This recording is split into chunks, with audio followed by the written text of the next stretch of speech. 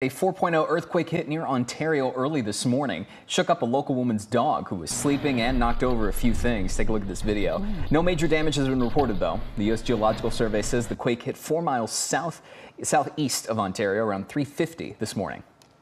I was seriously in a deep sleep. Woke up with my bed swaying from left to right. It felt like the house was bouncing. I rolled off the bed. My baby's bassinet, who's only like four months old, came sliding down towards us. It was the most terrifying thing.